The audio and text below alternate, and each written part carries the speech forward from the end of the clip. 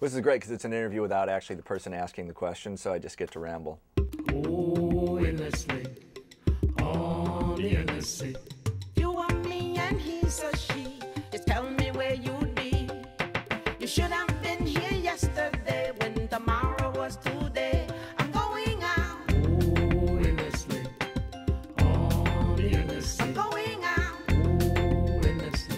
All About Me show, by me, for me, and I'll actually narrate this later as well. So, because if you're actually watching the interview with me, for some reason you're you've seen everything else, and you go, "What's this last thing?"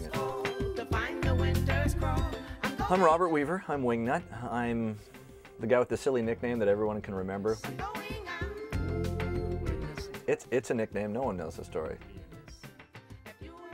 I have lots of long stories, and this is not one of them. I've not told anyone where my nickname came from. And I'm just going to kind of stick with that. Surfing is a selfish sport. It's about you getting a really good wave. Screw the other guy. The same thing. Hang out with old guys. You're gonna look good.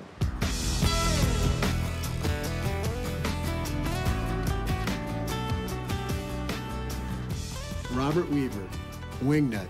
The nickname says it all. His nonstop repartee masks a deep-seated admiration for Robert, Paul, and Mark.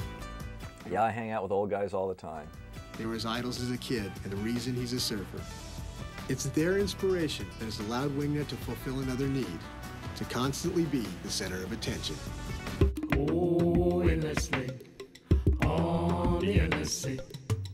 Pretty lucky to get asked to do a surf movie, especially one with Bruce Brown and getting to do Endless Summer 2. And then, you know, when Dana was doing Liquid to get to do that, it's enabled me to continue the, the absolute cartoon lifestyle that I have.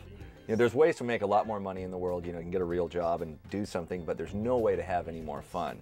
I mean, the reason that Sam and Robert and the guys that are in this industry are in it is because of the freedom that it allows you.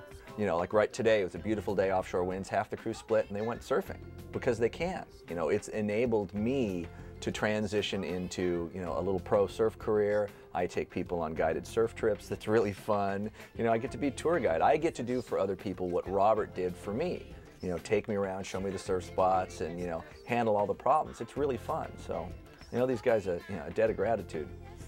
One more semi-employed surfer in the world. Longest I've gone without surfing was probably about a month, month and a half, two months. I was diagnosed with multiple sclerosis, and at a certain point I couldn't surf, so that was it. It affects my, my disco skills mostly. I'm not as able to really dance the way that I used to.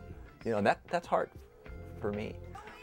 I've done I've done a bunch of benefits for the MS Society and still try to help out whenever I can. And I donate a free surf day or lesson at the charity auctions and all that.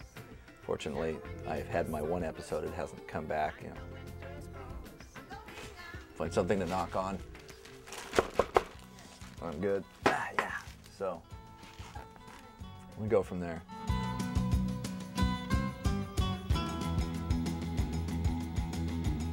The things Wingnut does never cease to amaze me. Here, after getting wiped out, he just body surfs up to his board, which happens to be upside down, hops back on, and keeps on riding. Oh, endlessly, on And I, th- there's nothing worse than a guy telling a surf story about himself, so I'm not going to do that.